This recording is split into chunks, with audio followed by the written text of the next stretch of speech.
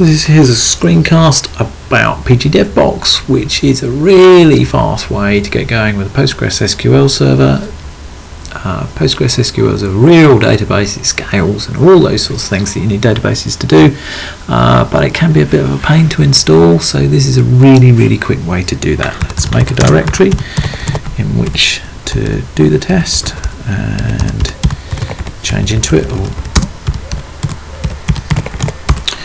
and so we're going to use curl to download a file from pgdevbox.com and it's a vagrant file. I'm just going to save it like that now. I'm using curl but you could use uh, your web browser to download from this URL so now we're just going to do vagrant up. Now if you don't have the box file downloaded. The box file is rather large, it's 300 megabytes big, and so if you don't have that, this bit can take quite a long while. Um, it's 10 or 15 minutes, 20 minutes maybe on a broadband connection. Um, but hey, there you go. Once you've got it, you can make as many copies as you like quite quickly, this quickly. Um, and booting each instance is very fast, just like this. So this is making a brand new server on my machine with PostgreSQL running inside it.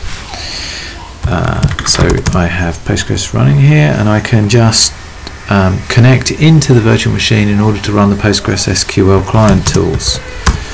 So that's psql and uh, backup and all those sorts of things.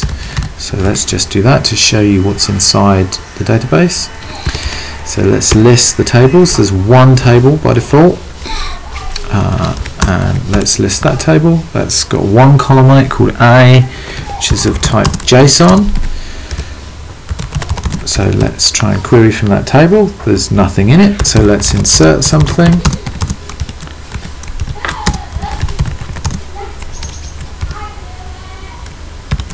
Let's insert some JSON data.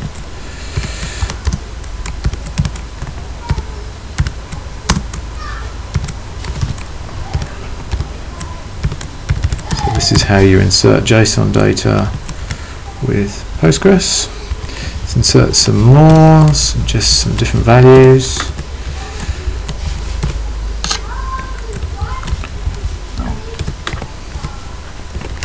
Now we'll select from AIM, we can see all those different values. We can also do a, a selective query there we go. Um, oh, here's a different one. Where B is 20 and we've got two rows. We don't have to constrain ourselves to that table. We can make another table. Um, let's say there's an integer ID and a date and um, maybe some data which is of type text and um, we can then query that table. And of course you can make as many tables as you like. Um, we could also run backup inside the VM and then pull apart files from inside the VM and store it anywhere on Amazon or anything.